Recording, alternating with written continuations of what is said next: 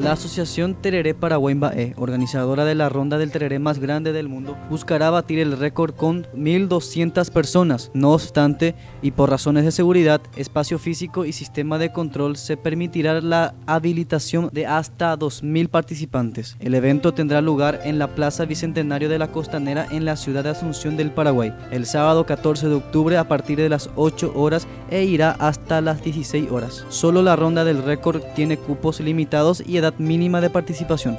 14 años previo permiso de los padres para inscribirse deberán acercarse a centros de pagos de red UTS para obtener un vale personal para participar de la gran ronda.